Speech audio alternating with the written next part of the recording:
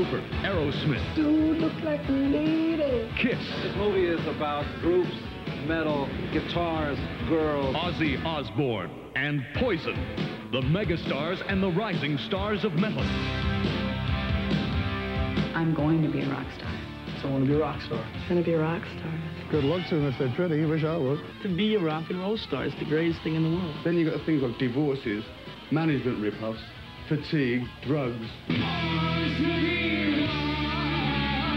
Rock and roll. Why do they do it? I'm in it for the money. no, no, A headbanger is someone that drives by in their car and goes, Melody! How do they make a living? Um, I'm a professional musician. I don't work. I can't stand work. We don't work. This is, we play music. We are not role models for your life. And why do they get all the girls? Because they have good music and yeah, really, they're good looking. And what about the groupies? I like to call them the fleas and ticks of rock and roll.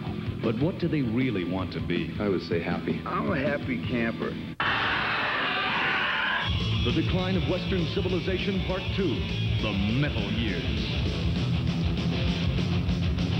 Better than sex, better than anything in the world you could ever do.